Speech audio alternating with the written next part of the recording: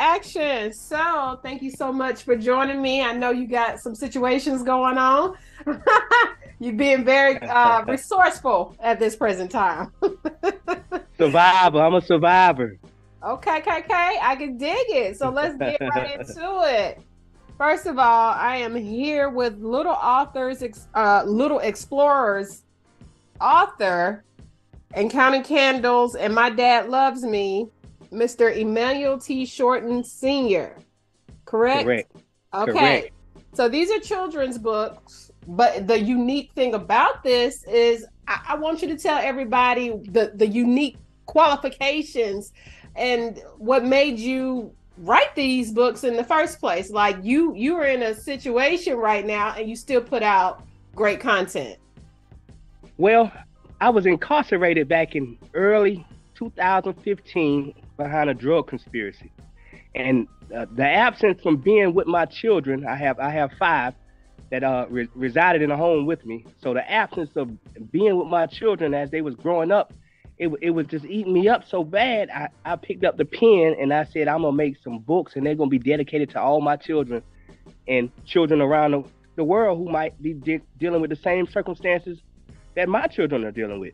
You know, and so that way when they go to school, the uh, the ones that was in elementary at the time, when they go to school, they will have a book to take.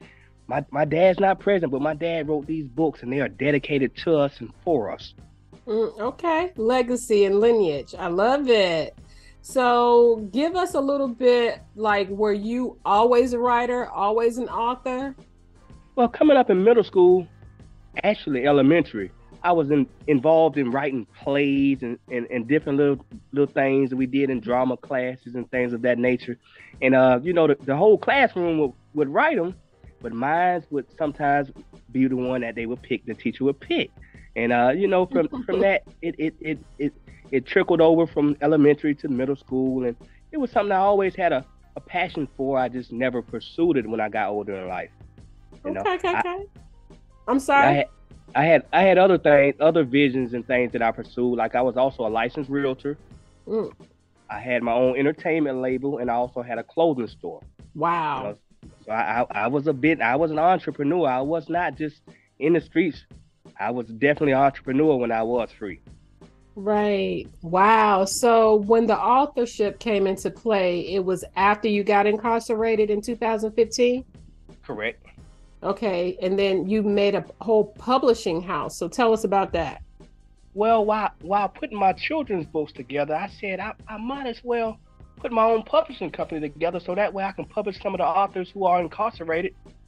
Some of the, I can help them get their literature out to the world as well. Wow and I, I came up with the word ling. ling uh, ing is a the suffix which stands and means connected together. So I took the L and put the L with the ling, where we take your literature and connect it to the world, and that's that's the slogan that we ran with with Ling Publishing. Okay, and when did Ling Publishing commence? Uh, in 2021.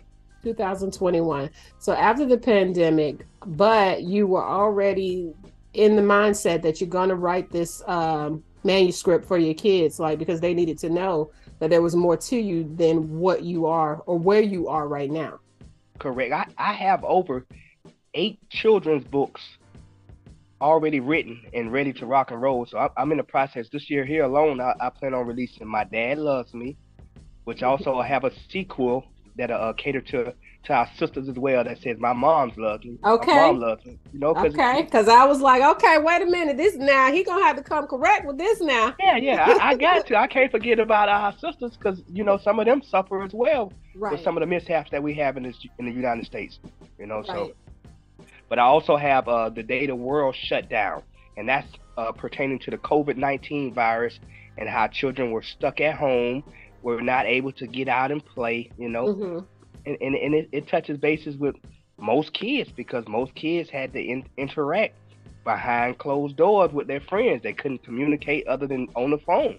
Right. When the when the coronavirus first came through, so I plan on releasing "My Dad Loves Me" and the day the, the world shut down. I plan on releasing both of those before summertime this year, right here. Okay. Well, congratulations. So, my next question, and I hope it's not insensitive, but it is unfortunate what happened you know, with you getting arrested, you know, our black men just being incarcerated. Like you said, you had so many plans, so many things put into motion before this transpired. However, do you think you would have become a published author had the prison stint not happened? I don't I don't think so. Mm-hmm. I don't think so. It would have been it would have been other ventures that I probably would have pursued heavily, you know, and uh been very uh lucrative with. But uh being a published author, this right here had set me down and gave me time to think and focus more on different things. You know, so it opened up different avenues and, and better doors. Right, right. I mean, we're talking about black culture and getting inside the black communities and talking to people who's just like you. So, with that being said, how do you link to other authors? This has to be a very difficult maneuver uh, from inside. Well, I have a, my my co-partner. Mm-hmm. co-partner name is Quentin Samuels, and he's free. He's located on the outside. He has a brother who's doing 30 years in state prison. Wow. I'm, I'm in federal prison. Mm-hmm. But his brother is doing 30, 30 years in state prison back in South Carolina where we are located. So uh from from that aspect, he's on the outside. He has access to a lot of urban authors. We have a, a cookbook that'll be released later on this year. Uh, we have we have a lot of different genres that we're going to be touching bases because it's a Darque owned and operated company. So I see that Zane Ali was the illustrator for your books. Is Zane incarcerated too? Is this all in house?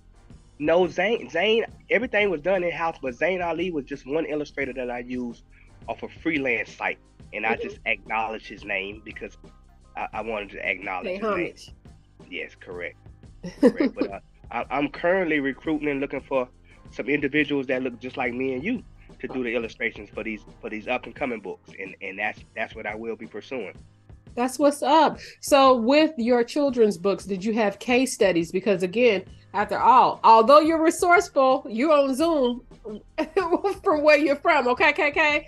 But although resourceful, um, that you had to have case studies to say, hey, this is this is a good book to put out. Kids will respond to this. I, I did. I did a little research because I, I, I knew that, like I say, it's it's a lot of parents who are suffering from being away from their kids, whether they're incarcerated, whether they're deceased, or whether they're in the military. You know, it, it, it's it's a bunch of different different avenues that can prevent us from being with our children and our loved ones. You know? Right. So, so we, uh, oh, keep going. I'm sorry.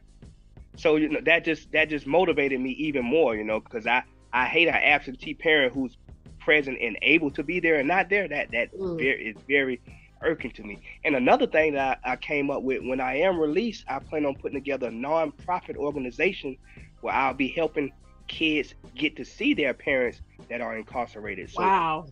So some of the proceeds that'll be going to, uh, and I'll be acknowledging that once I'm released. Some of the proceeds that'll be going towards the books purchased up under Ling Publishing LLC. I'll be taking those proceeds and putting them towards my nonprofit organization to help children get to their parents at least once or twice a year, courtesy of Ling Publishing LLC. Well, you got big things popping. That is for definite sure. So, I'm hashtag sorry. My, my, hashtag my my best is yet to come. Okay, KK, period, Pooh. So, and with that being said, like you said, you are looking for other authors. You have been in contact with other authors. So, how many authors do y'all have up under Ling Publishing LLC? Currently, we have four authors right now that's that's published up under Ling LLC. Mm-hmm. Okay, and those are children's books. No, those are those are urban authors. Okay. I, am I'm, I'm the only children author right now, but uh, we we have another children author that will be released later on this year as well. But uh, we have uh, urban four urban books that are available on Amazon right now, and they are Who Can You Trust? And that author is Jabril Crawford out of Florence, South Carolina. We have we have another urban book called Crossed Out by Quentin Samuels, the co-founder of Ling Publishing LLC. We have we have another one called The Jones Family Tree, and that also is by Jabril Crawford. And last but not least, we have a uh, 1800 block, which is by an author out of Florida, out of Pompano Beach, Florida. So you are you have a wide reach. That's number one. And with that wide reach, what is a day in the life like as far as being a publisher incarcerated? Like, what does that look like for you? I mean, you know, it's it's it's very busy because I I have to try to stay active, and I I, I can never really walk around. I'm I'm not I'm not accustomed to having a computer and a laptop like I need, unfortunately. Right. You know, so it it it it, it consists of me being in touch with the outside world a lot. You know, right. I, I have to be in, you know, but like I say, my best is yet to come. So this is only a start.